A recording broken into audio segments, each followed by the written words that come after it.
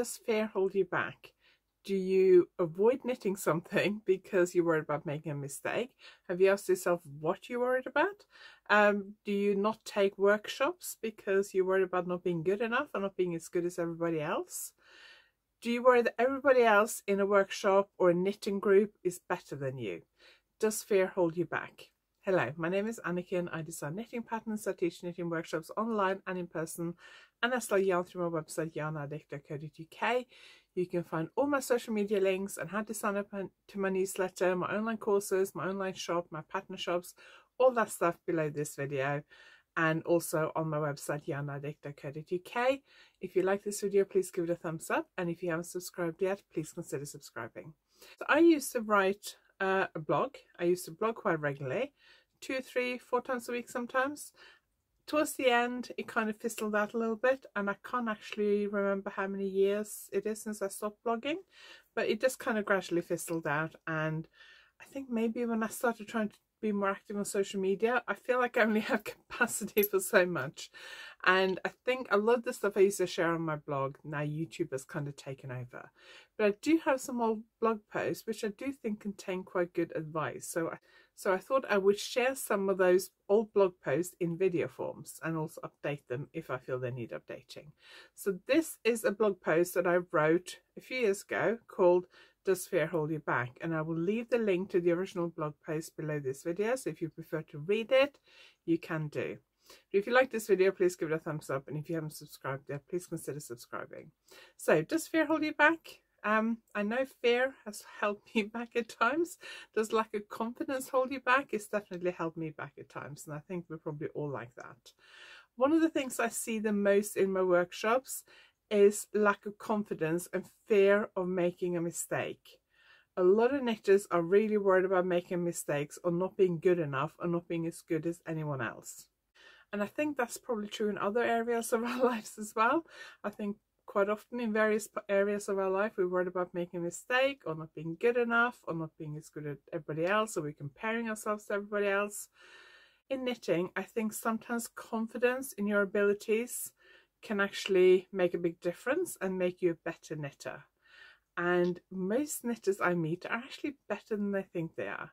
So today I'm going to talk about some of the issues related to uh, fear and lack of confidence in your knitting abilities. This can apply to other parts of your life as well and it certainly also applies to crochet. So I hope you enjoyed this video. So I have a very good friend and although she's not a very experienced knitter, she's been knitting for quite a few years but she doesn't knit a lot and she's not a very fast knitter and uh, she's not a very experienced knitter. But she's a lot more capable than she thinks she is. Almost every time we meet, um, and I must admit since COVID we've been meeting a lot less for various reasons. Uh, not necessarily just to do with COVID, obviously that was the problem in 20 2020 and 2021 but since then other things have happened so we don't see each other as often. But I used to find that every time I used to meet her she would ask me to uh, show her a technique. And then the next time I met her she'd ask me to show her the same technique again and over and over again. And sometimes I would just say see if you can remember how to do it. And usually she could. Occasionally she might just need a little bit of reminder and a little bit of kind of um, pushing in the right direction, but a lot of the time she could actually remember it. And recently she said to me that she hasn't knitted for a few months and she's in the middle of a couple of projects and one of the things she needs to do is cast on for a new part of the project. And she said, I don't remember when, I don't, I don't know if I can remember how to cast on. And I said, well, just sit down with a pair of needles and see if it comes back to you. I'm sure once you start actually doing it and thinking about it, it'll probably come back to you. So I don't know whether she's done that because I haven't spoken to her for a few weeks. But um, lack of confidence is something that can really hold us back. And if you lack confidence in one part of your life, I find that that quite often um, is the same for other parts of your life as well. So let me know if you find that true. If you find you lack confidence in one part of your life, that that kind of um, crosses over to other parts of your life uh, it is certainly something that I see in a lot of people that I've started to notice since I started teaching. Don't let fear hold you back. Um, what's the worst that can happen? You make a mistake, you rip it out.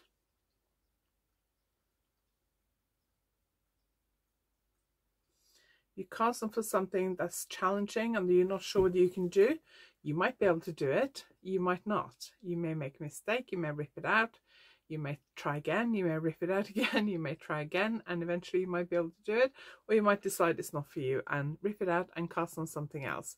Good thing with yarn is that it's reusable. So obviously some yarn, if you rip it out a lot of times, it might wear the yarn out a little bit, but most yarns can cope with being ripped out once or twice, as long as it's not so um, fragile that when you rip it out, it actually uh, kind of falls apart. Most yarns can be ripped out and then knitted something, you can knit something else with it. A lot of knitters don't like having to rip out.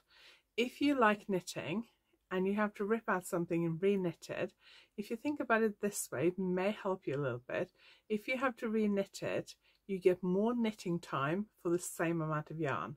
So it's actually better value for money knitting. And if you're not in a hurry, if you're not working to a deadline, if knitting is not your job and you just enjoy knitting, then if you knit something twice, then you get more time out of that knitting, out of that yarn before you have to buy more yarn. So in some ways it is really better value for money to knit something more than once. If you want to knit something but you feel you don't have the skills, try it. You may surprise yourself, just take it one row at a time. I know that most experts say that you should read the pattern and try and make sure you understand everything in it before you start knitting. I don't always think that's a great idea. Um, I think sometimes when you're reading things, it's difficult to understand it. And when you're actually doing it on your needles, it's a lot easier. I quite often find that um, if I'm actually sitting with the needles in my hand and trying to work out what to do on my needles, it makes a lot more sense to me. And I think probably most people are like that. I quite often, especially when I do shows, uh, because I sell a lot of my patterns, I find that people will come, they'll pick up a pattern, they'll look through it, and then they'll go, oh, I don't think I can do that. I don't understand this. And that's because they're just like reading it and trying to understand it. Well, knitting pattern is really technical writing and it's quite complex technical writing really. It has a lot of abbreviations and um, different techniques and all the techniques and abbreviations are usually explained in the pattern. Um, I mean, I don't explain how to do a knit stitch and how to do a purl stitch in my pattern because I assume you know that. My patterns aren't like learn to knit patterns. But I do expect you to be able to knit and purl. And if I say cast on, I expect you to know at least one basic cast on and the semi cast off. And if there are any different techniques that I wanted to use. I always explain those in the pattern. And recently I've also started linking to YouTube tutorials if I have them.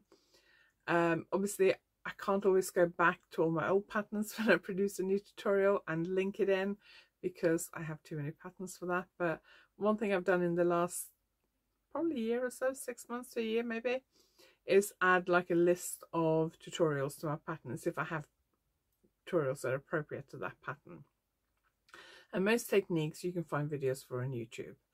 Um, so don't worry about not knowing all the techniques and don't worry if not everything makes sense the first time you read through the pattern. Sometimes you do have to actually sit down and try and work it out on the needles before it makes sense. Sometimes when I get questions about patterns, the answer truly is just do what the pattern says. Just follow the pattern. Um, and I can't really, I don't feel like I can really email that as a reply to somebody. So somebody might be, might be a shawl, they might not understand the shaping. Well, the pattern may say something like knit two, yarn over knit one, yarn over knit one, yarn over knit one, yarn over knit two, and so on. And sometimes people worry about because the shaping doesn't make sense to them. And I just have to kind of say, just do what it says and it will make sense once you're doing it and you can see the shape emerging. I think that especially applies to a lot of shawl shapes, especially maybe unusual shawls or new shapes to you. And um, I think people read the pattern and they don't understand it, whereas sometimes I think they need to just sit down and actually knit it for it all to make sense. And I find that I can't say just follow the pattern but that is sometimes what you just need to do. You just need to actually do what the pattern says, not what you think it says, but what it says. So just follow the abbreviations. All patterns sh should have a list of abbreviations and um, even if the pattern uses abbreviations you're not used to, there should be a list of abbreviations in all patterns. Um, obviously these days anyone can put patterns out online so you get people who are just casual knitters or people who run yarn shops and things like that who will just write a pattern and publish it and not really have it professionally checked and write it to a professional standard. And I have seen some patterns um, mostly that have been given are free in yarn shops or been downloaded free online that do not uh, contain all the information they need, um, which makes it very frustrating. But usually a pattern will tell you everything you need to know. Would you like to take a knitting workshop, but you worry that your skills aren't up to the job? Well, if you're worried that you're not good enough, that you don't actually have the experience needed, read what the workshop listing says. Does it say what experience is required? Um, if not, ask the organizer or the teacher or the shop where the um, workshop is being held. Quite often it will tell you the teacher is and if you Google them you might find their website or you could ask the shop owner or the organizer for an email address for the teacher so you can actually email and say these are my skill levels am I good enough to take this workshop? Workshop is description that I send out to yarn shop owners and show organizers because most of my workshops are hosted and organized for somebody else and I just turn up and teach. I have like a standard list of workshops and like a blurb for each workshop that I send out and there it does say skills required and I will say exactly what I expect people to do. I used to kind of say, you know, intermediate knitters, but what's an intermediate knitter? So now I tend to actually list skills required.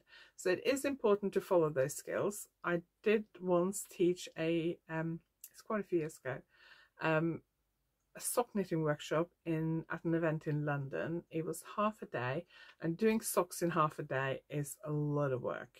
Um, it was actually going to be two at a time socks.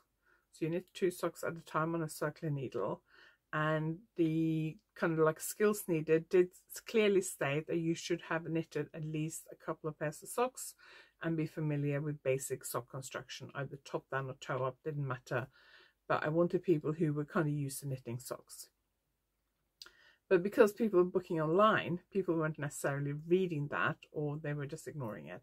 And when I got there, the workshop was in the morning and then I was teaching something else in the afternoon.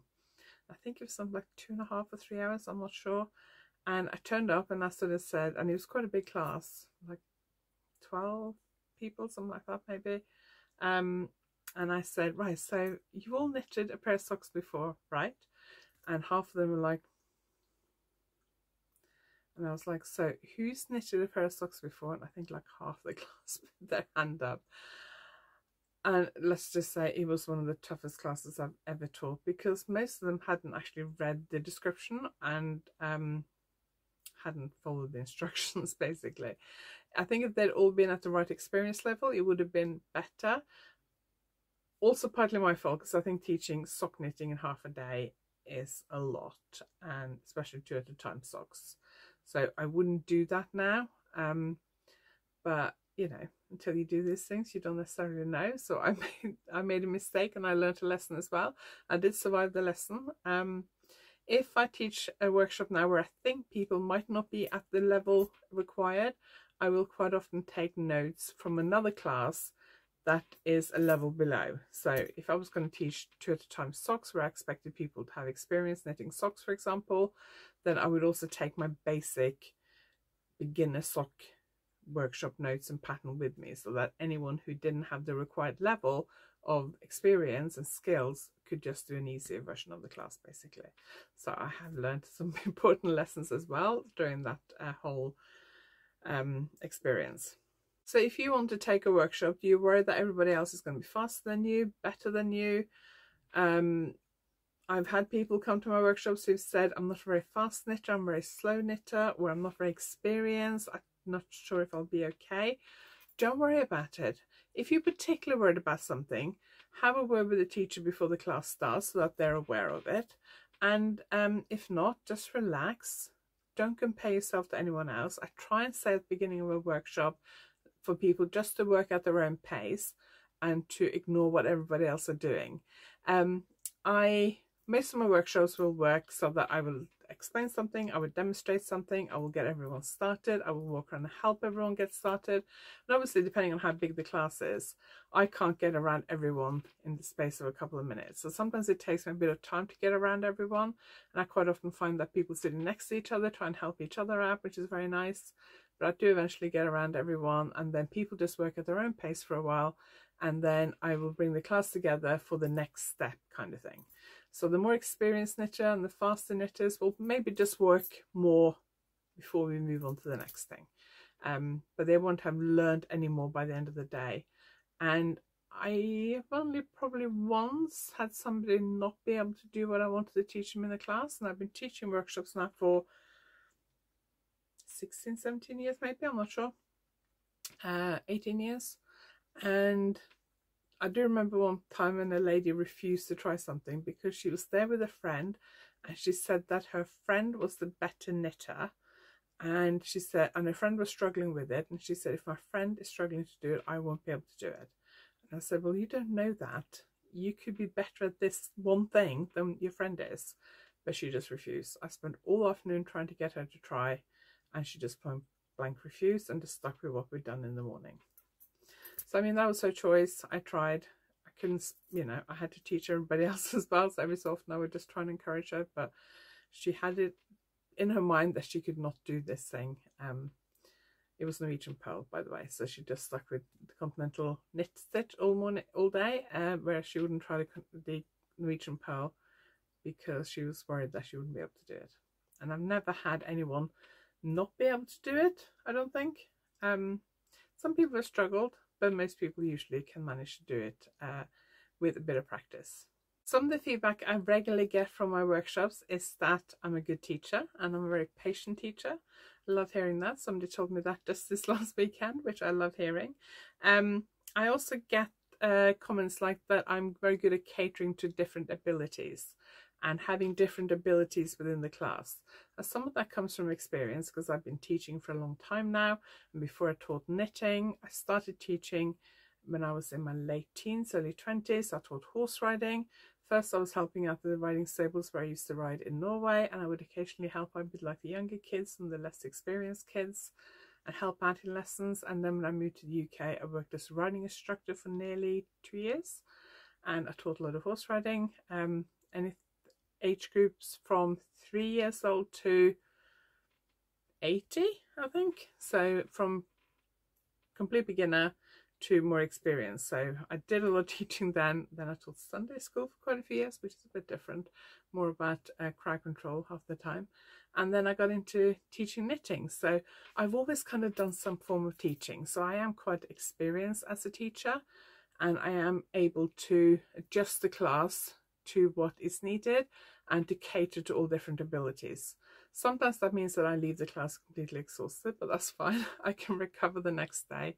But I have been told I'm very good at catering to different abilities within the class and that I'm very patient, which is about the only area of my life I am patient. My family think I'm the most impatient person ever, but when I teach, I'm very, very patient. My classes can be quite intense. I try and pack them with as much information as possible and sometimes I think maybe I overdo it and I have tried to with some classes I've had to uh, readjust that. Brioche for example for most people just getting the hang of the basic two color brioche in a day's workshop is enough. Some people might be able to move on to some increases but most people are okay just sticking with getting the hang of the basic two color brioche.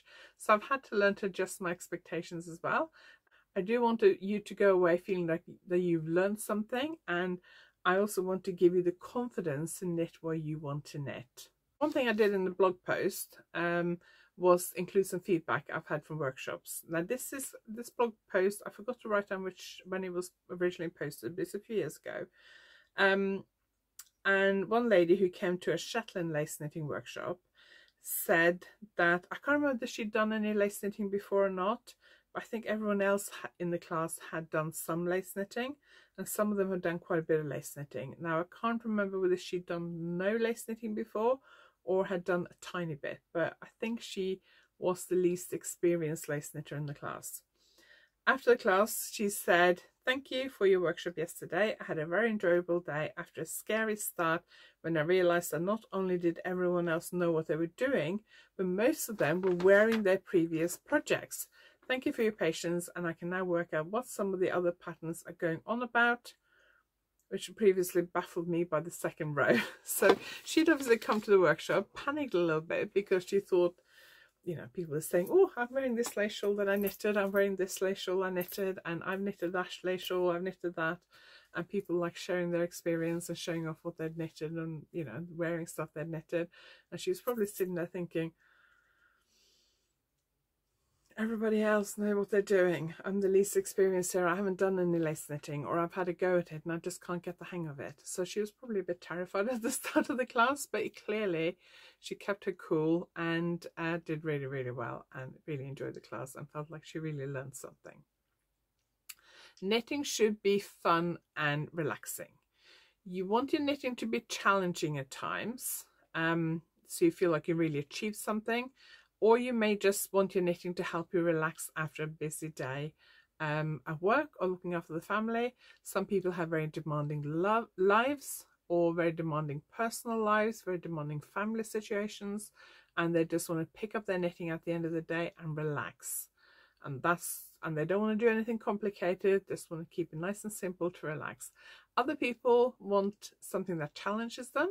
They want to learn new techniques and they don't want to do anything that's too easy. We all have different reasons what we, why we knit. Um, whatever your reason for knitting is, you should enjoy it. So whether you prefer challenging projects or whether you prefer easy projects, you should enjoy it. And if you find yourself constantly knitting things that you are not enjoying, you need to think about what you're knitting and why you're knitting. I sometimes do projects that I enjoy for a while and then I go off them or projects that I think I might enjoy and then I don't enjoy them as much as I thought I would. My situation is a little bit different because obviously I design knitting patterns so I have to, if I commit myself to designing something for a magazine, I have to finish it. There are a few projects that I was doing going to self-publish that I've abandoned just because I got bored with them and that does happen quite often. so that whatever we knit, whatever our situation is, you know, there are times when we get bored with a project and it's tempting to put it aside and start something else. And if you're just knitting it for you and you would rather knit something else and the main reason you knit is to enjoy yourself and having multiple uh, works in progress doesn't stress you out. There's no reason why you can't put something down and start something else. So I hope I have, during this video, been able to talk you through some of the things um, related to fear holding you back and confidence. What I'm trying to say is don't worry about it. It's only knitting. Don't let fear stopping you going to a workshop that you like to take. Um, you're all there to learn. Everyone's there to learn. Some people do turn up to workshop where they actually know the topic. I've had people, I've had one lady once turned up to sock knitting class and while we were waiting for everyone to turn up, she showed me several pairs of socks she'd knitted. They look, all looked perfect. So I wasn't quite sure why she was there, but she enjoyed it. Um, people have all sorts of reasons for taking a class. Sometimes it's a social thing and getting out of the house and having something to do. Other times it's because they want to learn that particular skill and that particular technique and to knit that particular thing. So that's important to remember as well. But don't let fear hold you back. What's the worst that can happen? Ask yourself, if I make a mistake, what's the worst that can happen? I go to this workshop, I am completely out of my depth, I can't keep up, I can't learn anything. Okay, you wasted your day and a bit of money. Hopefully if the teacher is any good, they will make sure you can keep up and they'll adjust uh, what they're teaching you to your skill level so that you are still coming away with learning something. I even find that when I used to teach complete beginner classes, which I don't anymore, but I used to quite a few years ago, most people who came to those classes would had learned to knit at some point in their life, but it was a long time ago. And once we got started, most of them could kind of remember the basics. And then I did have one or two who were complete beginners and never picked up a set of knitting needles before, which is difficult when you have that in the same class somebody who actually do know how to knit. They just haven't knitted for 10 or 20 years. Um, but the sign of a good teacher is to be able to adjust your class to fit everyone in the class. So don't let fear hold you back. Um, remember, what's the worst thing that can happen? Make a mistake with your knitting, you rip it out and you re-knit it. You go to a workshop, you feel a bit out of your depth, you still will learn something. You go to a knitting group, you think everyone's going to be good, better than you, you find that actually they're not, and that uh, people are interested in where you're knitting, and that maybe you are one of the better knitters even. And even if you're not, who cares? You're there to learn and you're there to enjoy knitting. And the most important thing when it comes to your knitting or crochet or whatever hobby you're doing is that you enjoy it. That's why we spend time and effort on it. And I think it is easy to sometimes lose sight of that. So whatever you do, make sure you enjoy it. That's the most important thing. So if you have any questions or comments, leave them below this video. If you like this video, give it a thumbs up. And if you haven't subscribed yet, please consider subscribing. I will drop the link below to the blog post that this video is based on. Um, thank you very much for watching and I will see you next time.